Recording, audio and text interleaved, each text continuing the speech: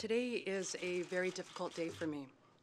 2014 has been a very difficult year for me, with a bitter nomination battle, problems in my own party, and health issues from which I've fortunately fully recovered.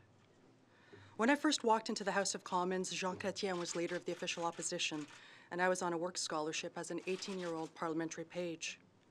I used to sign up for extra shifts during the constitutional debates that would last late into the evening. As a daughter of immigrant parents who fled communism, I felt very privileged and honored to be able to stand on the floor of the House of Commons as our leaders debated the future of our nation. It was an enormously exciting time to be at the nation's capital. There was a palpable hope and enthusiasm that our party was on the cusp of reinvention.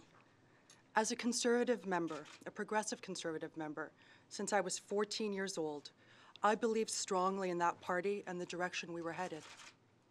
I had the great privilege of working for excellent members, both provincially and federally, and I forged tremendous friendships that I value to this day.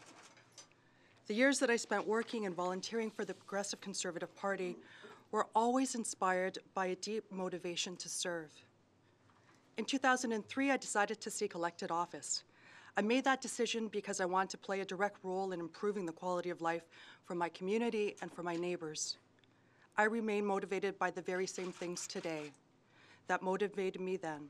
So whether on city or regional council, corporate boards, volunteer organizations, or in the private sector, I learned that the key elements to a strong and successful team were leadership, humanity, and kindness.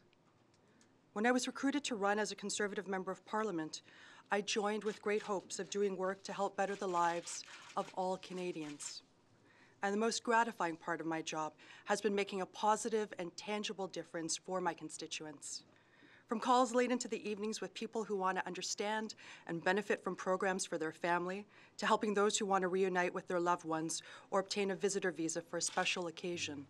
Helping Canadians navigate their way through government red tape in order to get what they and their families need is extremely gratifying. I've met with many families who have spent many years struggling with mounting bills, they can't even contemplate how to save for their children's education or their own retirement. As a government, we were given a tremendous opportunity with a purported surplus to do right by folks. Instead, the government is still about to roll out policies like income splitting, which will devour the surplus without benefiting most Canadian families or creating a single job.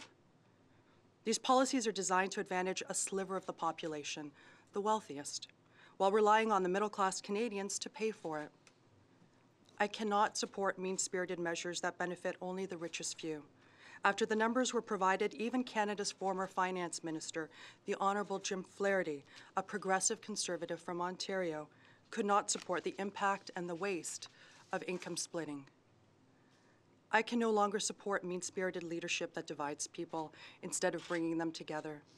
We need a kind, generous, and strong leadership that champions a shared vision for how to make Canada work for everyone. I want to work with someone who inspires, not with fearmongers and bullies. I want to support a leader who strongly and unequivocally respects a woman's right to choose. It is time for a leader who has the ability to rally his team and all Canadians to steer the country in a more positive, productive, and united direction. That leader is Justin Trudeau. That is why, after a long and very difficult period of reflection, I have decided to leave the party that I've served since I was 14 years old, to leave my role as Parliamentary Secretary to Health, and to join the Liberal Party of Canada. I'm very proud of the time I've spent in government, and I'll work very hard to bring that experience and passion to the Liberal Party and continue to serve my constituents and I want to thank Mr. Trudeau for welcoming me into the party. I'll be seeking the nomination for the Liberal Party of Canada in the GTA. I look forward to meeting and listening to the Liberal Party members later today when I head back to Toronto to get to work. I will stand behind a leader who demonstrated humanity, compassion, and decisiveness when a serious issue like sexual harassment was brought to his attention. He didn't just sweep it under the carpet. I will knock on every door of the riding in order to support, in my own small way, a Trudeau Liberal government this coming election. I did not make this decision overnight, but I no longer feel at home in the Conservative Party, either politically or intellectually. This is a very bittersweet day for me. I leave behind a party that I have supported for more than 25 years, a party for which I volunteered endless hours when we had no hope of forming the government.